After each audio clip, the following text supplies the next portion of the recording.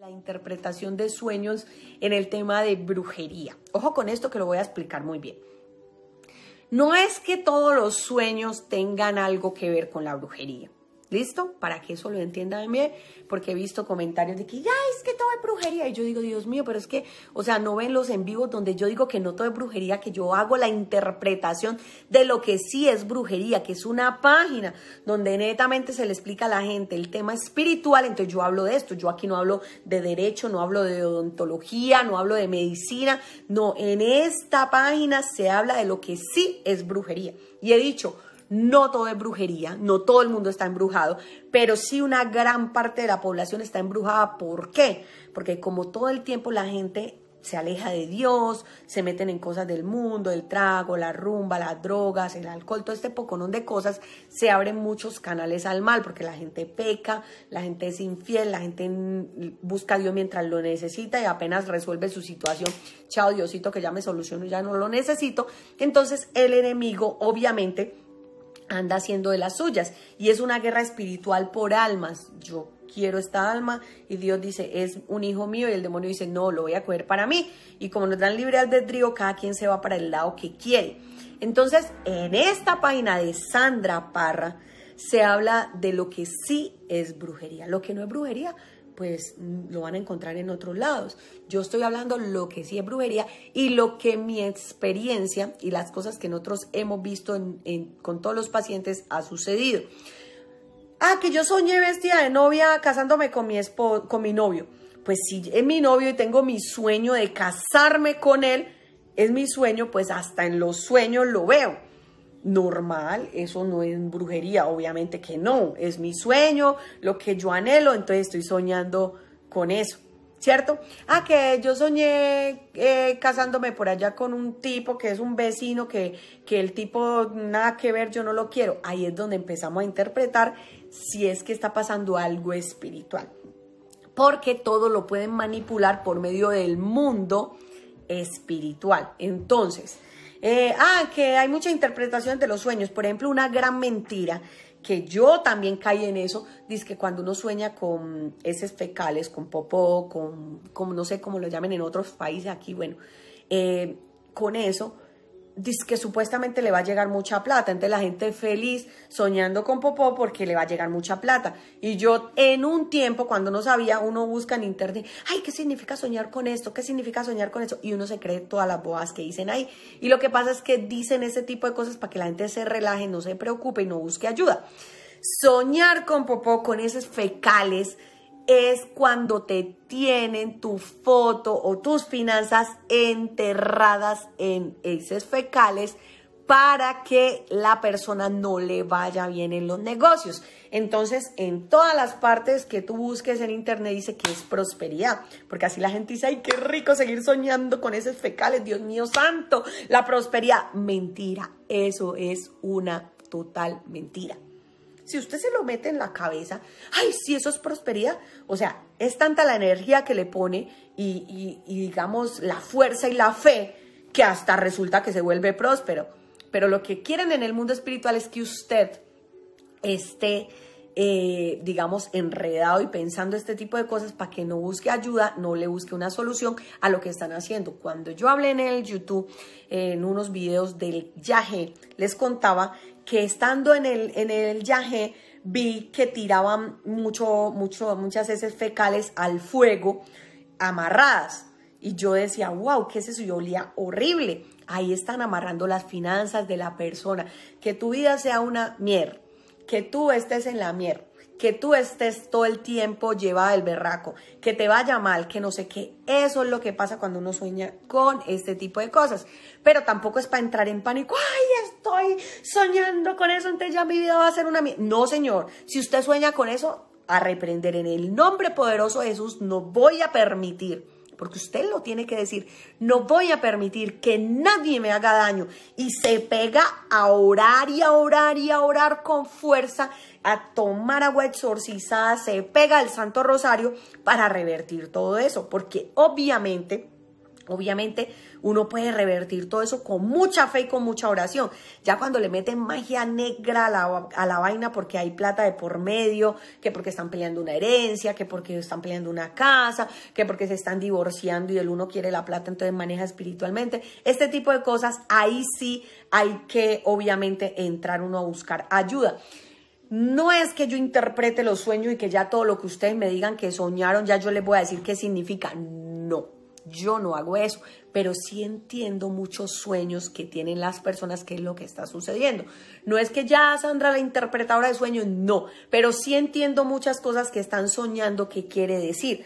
Y cuando no las entiendo, las pregunto y me las responde, pero no tengo tiempo para estarme poniendo a interpretar sueños, por eso se los estoy poniendo en imágenes para que las personas entiendan qué es lo que está sucediendo. Entonces, por ejemplo, que usted tiene un novio y soñó que se está casando con el novio. Ay, ya Sandra, para decir que eso es brujería. No, ese es su sueño, las ganas que usted quiere casarse con ese novio que tiene. Obviamente va a soñar con eso porque es lo que usted quiere lograr. Entonces, eso no es brujería, para que la gente en película, yo digo algo y ahí mismo le meten la malicia, le meten las ganas de, de, de, crear cizañas. No, señores, yo digo lo que es real. Bueno, cuando sueñan con este tipo de cosas, con ese fecales y todo eso, les están amarrando las finanzas, pero no se me van a empelicular, sino que van a orar más. Sandra dijo que si sueño con eso me están amarrando la finanza. No voy a permitir que nadie amarre mis finanzas.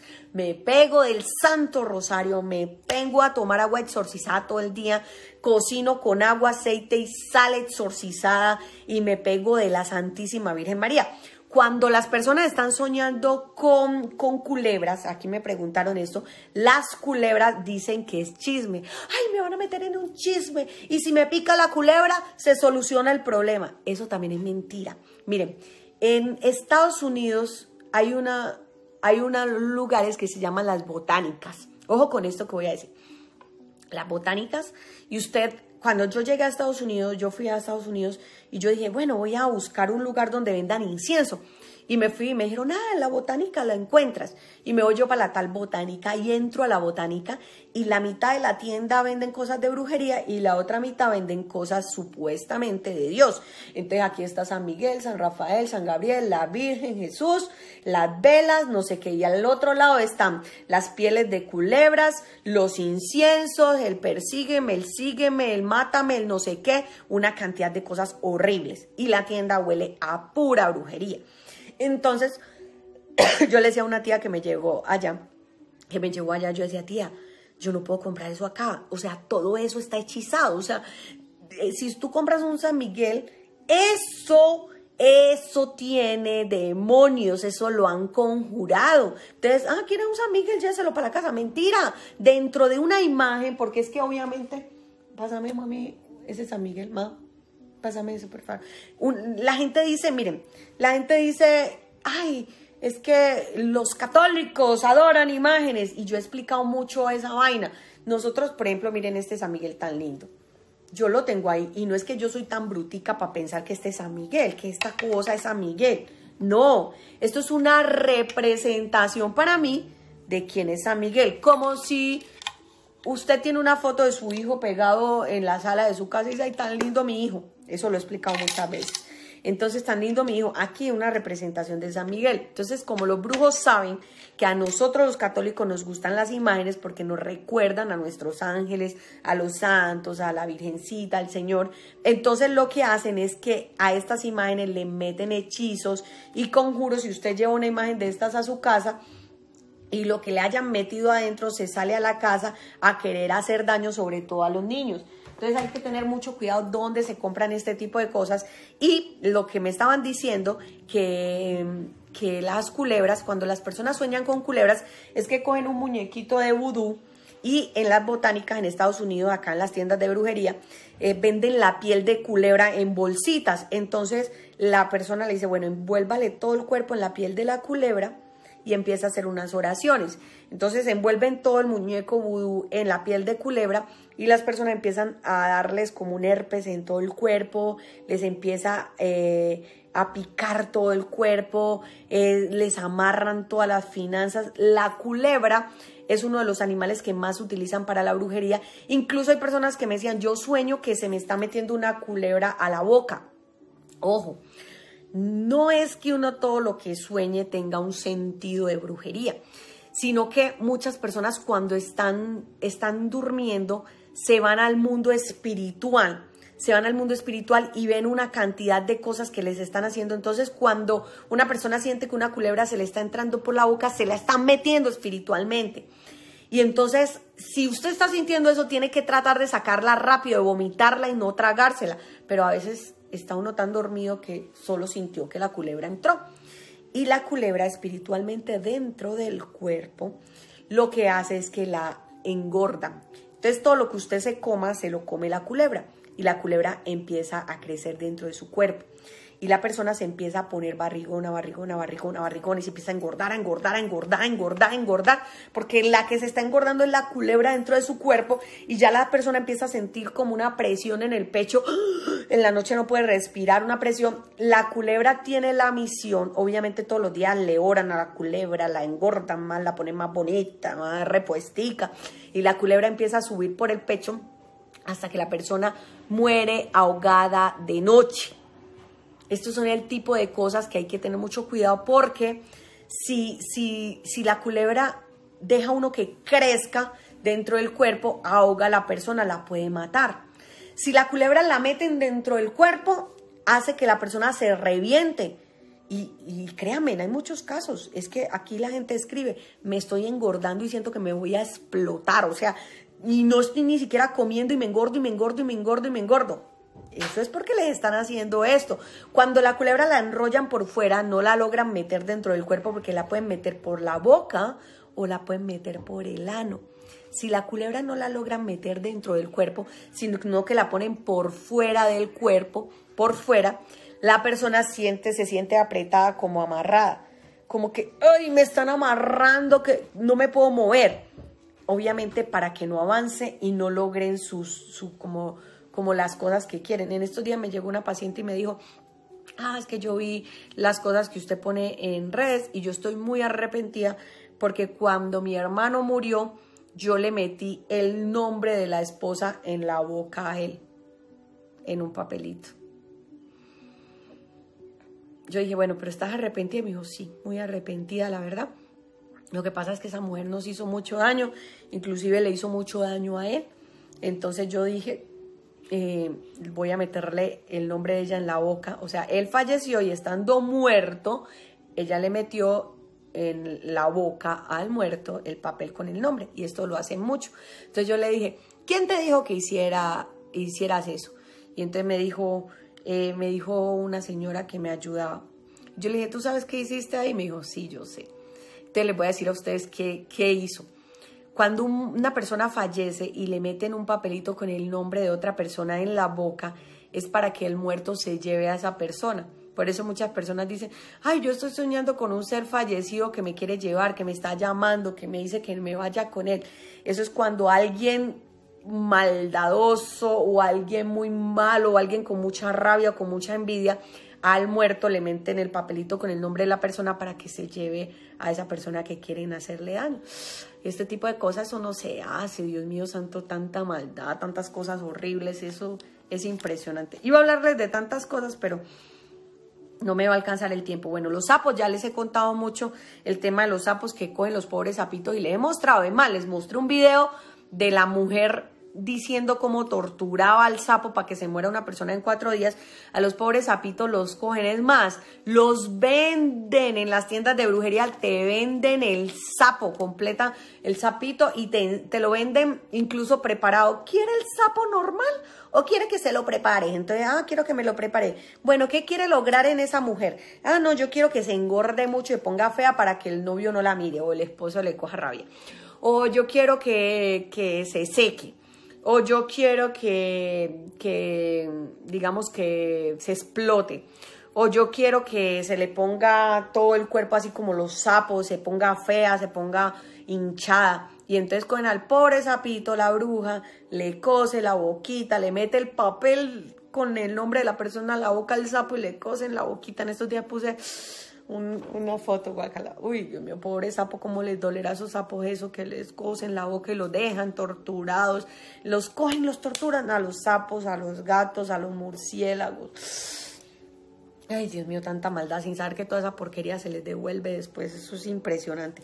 Con los sapos hacen muchas cosas. Entonces, cuando las personas sueñan mucho con sapos es porque les están haciendo hechizos por medio de sapos. Lo de los piojos no tengo ni idea. Me están diciendo que, que sueña mucho con piojos. Eso no tengo ni idea. Voy a preguntar y después les digo.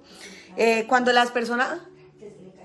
Ah, cuando una persona sueña que se le caen los dientes, eso sí lo han hecho mucho. Es que le, por medio de brujería les están, o sea, cogen una caja de dientes o simulan una caja de dientes o con un muñeco ponen dientes y se los empiezan a sacar, a sacar y a la persona le empieza a doler mucho la boca, le empieza a doler la encía y de verdad se le empiezan a caer los dientes. Yo tengo una paciente que, que los dientes se le empezaron a caer cuando me buscó y nos dimos cuenta que era que le habían puesto algo espiritual en la encía para que se le cayeran todos los dientes y ya quedara mueca. Ratones, con ratones sí que hacen cosas, es impresionante. Los ratones, o sea, para que la vida de la persona sea una porquería, para que la casa quede en ruinas, para que llegue la ruina totalmente, ponen ratones. Es más, hay personas que ni siquiera sueñan, sino que llegan a la casa los ratones. Ay, mi casa era una casa limpia y está llena de ratones. O mi casa está llena, la paloma es del Espíritu Santo, esa es muy linda. Eh, se llena la casa de moscas una pero moscas por todos los lados y no pueden y les echan ray y todas esas cosas y las moscas siguen y siguen y siguen y se llenan de animales, de arañas, cucarachas, las cucarachas, miren que es más, hay películas que muestran eso. ¿Qué película, mi amor, fue que nos vimos de unos animales que se llenó la casa de cucarachas? Acuérdate. Hay una película que muestran cómo hacen hechizos y empiezan a hacer oraciones y la casa de la persona se llena de cucarachas, de cucarachas, de cucarachas, de cucarachas y de moscas. Y esos son demonios que mandan a las casas para hacerle daño. Obviamente, no que ay, en mi casa hay cucarachas, entonces hay demonios. No siempre es así. A veces hay cucarachas porque, bueno, porque en la, en la zona hay cucarachas o porque hay suciedad en la casa, por eso hay cucarachas. Pero cuando la casa es una casa normal, está limpia y de un momento a otro empiezan a salir las cucarachas, te están mandando cosas espirituales. Esto es espiritual, hay que tener mucho cuidado. Yo por eso les explico lo que sí es brujería. Me preguntaron de los búhos. Cuando hay búhos que llegan a tu ventana o algo, las brujas se meten dentro de los búhos a vigilar a mirar tú qué haces, qué es lo que está pasando. En estos días me decía una paciente, imagínense Sandra que, que yo, a mi casa llegó una libélula. Y, y, yo miraba esa libélula y yo sabía que eso no era un animal, sino que ahí había una bruja. Y me puse a mirar la libélula y vi la cara en la libélula de la persona, vi la persona. Otra cosa que les puede suceder mucho es soñar con la persona que les está haciendo brujería. Ojo con esto, que esto pasa mucho, mucho, mucho estoy soñando mucho con mi mejor amiga. Si están soñando con una mejor amiga, en el sueño sean conscientes y pregúntele, ¿por qué estoy soñando contigo? Generalmente cuando uno ora mucho, cuando uno le pide al Señor y ora, el Señor le muestra por medio de los sueños quién le está haciendo la brujería. Entonces, generalmente les muestra, por ejemplo, a una amiga, a un ex, a alguna persona y les muestra qué les está haciendo. Uno siempre en los sueños ve la persona que le está haciendo daño.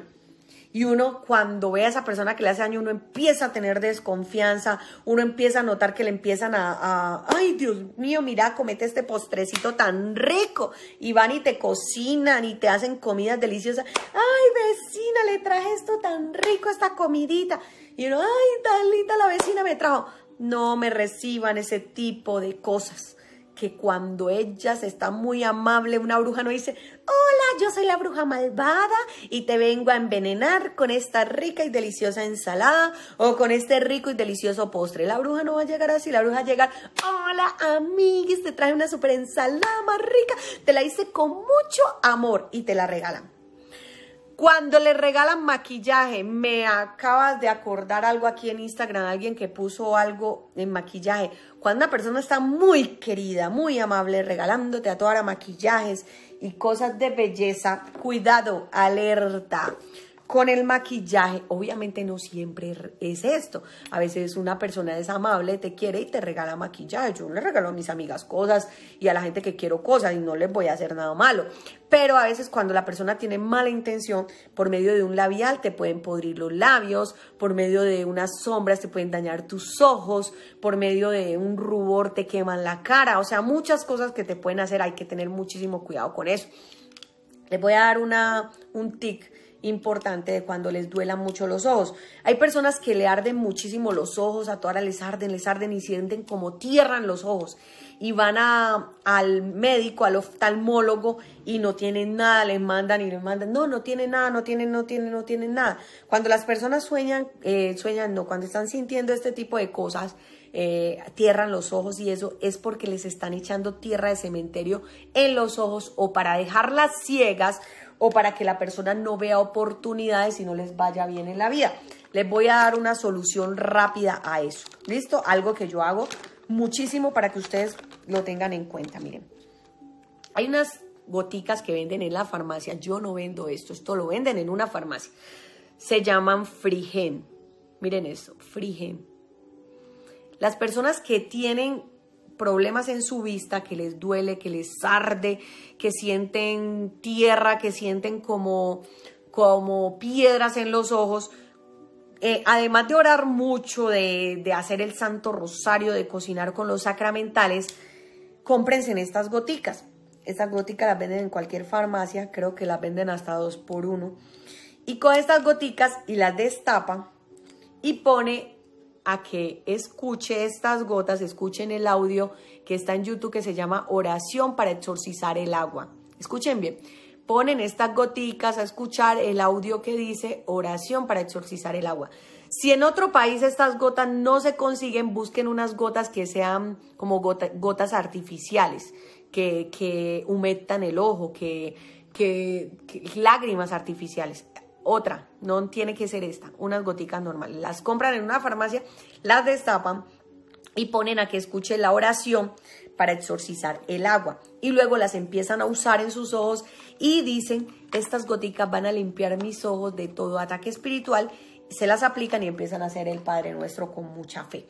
Y esas goticas exorcizadas van a empezar a limpiar tus ojos de ataques espirituales. ¿Listo? Para que lo tengan muy en cuenta. Eh, cuando sueñan con agua sucia, en estos días lo ponía que mucha gente me dice, Sandra, yo, sueño metiéndome a un río sucio, me meto al mar y que está sucio, eh, sueño tomando agua sucia, sueño llena de agua sucia en todo el cuerpo. Esas son las señales que le mandan a usted del cielo para que usted se dé cuenta que le quieren dañar su vida. ¿Qué nos hemos encontrado nosotros en el mundo espiritual? Gente que me dice, Sandra, mi negocio está quebrado, no me va bien, las finanzas están cada día peor, no encuentro solución a mis problemas, cada día estoy más endeudada, estoy mal, mal, mal. Y nos vamos al mundo espiritual y vemos que tienen una foto de ellos metidas en agua sucia, en un tarro con agua sucia. O las meten, o miren lo que hacen, también se van y buscan un río, las brujas son hábiles, dicen, ay, aquí no lo van a encontrar, porque ellas buscan a, meter las cosas en lugares donde nadie las encuentre. Y nosotros, obviamente, que, que no vamos a encontrar, oigan, a estas bobas, es que con otra no van a poder. Y esa es la rabia que tienen con nosotros, porque como les estamos tumbando todos esos trabajos de brujería, andan en la venganza. Les cuento una cosa, ustedes no se imaginan las batallas que hemos tenido. Los brujos andan pero con las pilas puestas con nosotros, como que vamos a matar a esa Sandra Parra y a ese esposo para que aprendan que con nosotros no se meten. ¡Oh! Que hagan su trabajo, que yo sigo también con mi Señor limpiando y tumbando. Entonces, miren, no les tenemos miedo y nadie me va a venir a amedrentar que yo eso no sufro. El día que uno se va a morir, se muere y punto. Miren, ¿saben qué hacen? Meten a la persona en un tarrito transparente, en agua, meten la foto, las oraciones y todo y los entierran en un río, o sea, se van a un río y abren un hueco en la arena del río, entierran ahí y la persona la dejan en el río. Entonces, ¿qué es lo que sucede? La persona empieza también a sentir mucho frío, empiezan a temblar, empiezan a temblar, empiezan a... Está haciendo un calor y están temblando todo el tiempo. También en congeladores, lo meten en la nevera, en congeladores Cuando sueñan con gusanos o les aparecen muchos gusanos en el arroz, también es que les quieren podrir el cuerpo.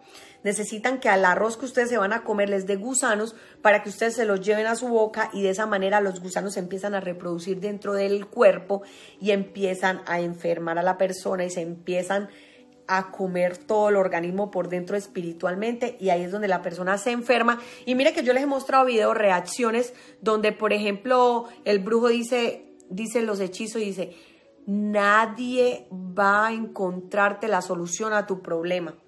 Nadie te va a poder ayudar.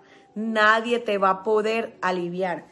Señores, ¿ustedes creen que eso es verdad? Que nadie, si dejan avanzar la magia, yo he explicado muchas veces, no es que nadie pueda, lo que pasa es que cuando la magia ha afectado, por ejemplo, eh, los pulmones, afectado, por ejemplo, los senos, que porque les ha dado cáncer y les ha hecho metástasis y ya ha pasado pues como a mayores. Por ejemplo, hay personas que les da cáncer porque, bueno, se les dio la enfermedad, porque son personas rencorosas, porque tienen mucho odio, porque tienen mucha rabia, desarrollaron un cáncer. Pero hay personas que tienen cáncer porque una persona se los impuso. Es que, hombre, yo les he mostrado los videos de las brujas confesando en vivo y en directo, le voy a poner un cáncer a esa desgraciada, le voy a tumbar el pene a ese hombre, le voy a congelar la finanza, le voy a hacer esto. En, mi, en, mi, en el YouTube de nosotros están todos esos videos donde yo les muestro a la bruja y en vivo y en directo confesando todo lo que va a hacer. De las personas que piensan que es mentira, bueno, que crean que es mentira. Ojalá no les pase, que le oren mucho al Señor para que no les hagan daño. Porque finalmente eso es lo que quiere el enemigo, que las personas creen que es mentira, que crean que Él no existe para que no busquen una solución. Bueno, eh, les puse también que soñar con calaveras, eh, la tal parálisis del sueño, soñar con calaveras, cuando las personas van a los cementerios y entierran a alguien para que se muera. Entonces uno empieza a soñar mucho con calaveras, con la Santa Muerte, empieza a soñar con que se va a morir, que lo va a pisar un carro, que le van a pasar muchas cosas. Es porque les están haciendo conjuros para que la persona se muera. Cuando la gente se ve en cementerios es porque a usted en ese cementerio lo tienen enterrada. Entonces la próxima vez que vuelva a soñar en ese cementerio, diga, Dios mío, llévame al lugar donde estoy enterrado y vaya y se, entierra. Usted lo puede hacer, pero tiene que tener mucha fe y mucha fortaleza para que vaya al punto donde la enterrado y logre sacar todo. Porque si usted logra sacar todo lo que le han hecho, se caen los conjuros y le dice a la Virgen que lo limpie y empieza a tomar agua exorcizada y a orar muchísimo. Y eso obviamente se sana y tumba todo eso. Eh, muchas personas en estos días les mostré una, una mamá que le tumbaron el cabello. Eso cogen una muñeca y empiezan a arrancarle el pelo a la muñeca haciendo oraciones y a usted se le empieza a caer el pelo, a caer el pelo y se queda con los pedazos de pelo en la mano y no entiende por qué. Cuando le están haciendo conjuros para que se queden calvas, yo les puse esto. Aquí me están preguntando que cuando se paraliza todo el cuerpo, hay algo que llama la gente que la parálisis del sueño. En estos días que estaba preparando una clase para los de la escuela de dones que están con nosotros, eh, decía que el demonio, que el demonio no va a dejar de molestar nunca, que no se va a ir de este mundo hasta el último día, hasta el día que va a llegar el Señor eh, a sacarnos ya de esta situación para siempre, hasta el final de los días. Entonces, mientras tanto, toca pelear contra Él con todas las fuerzas de nuestro corazón, pero los seres humanos somos muy débiles y nos falta mucha fe. Entonces, dudamos mucho de, la, de las bendiciones de Dios y caemos muy fácil en el pecado. Y decía que en la, en la época de Jesús, cuando las personas eh, tenían epilepsia, obviamente Jesús demostró que no era epilepsia, sino que eran personas que tienen posesiones. Y en estos días que estaba preparando eso, decía, yo tantas veces que, que, les he dicho que muchas veces la epilepsia no es epilepsia, sino que son posesiones. Y obviamente los médicos que van a decir, eso es una posesión demoníaca.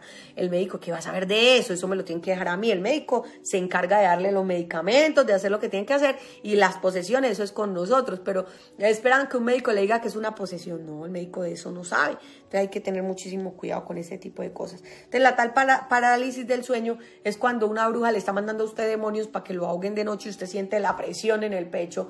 Por eso hay que tratar de no dormir boca arriba porque así es más fuerte el ataque. Hay que tratar de dormir de lado o boca abajo.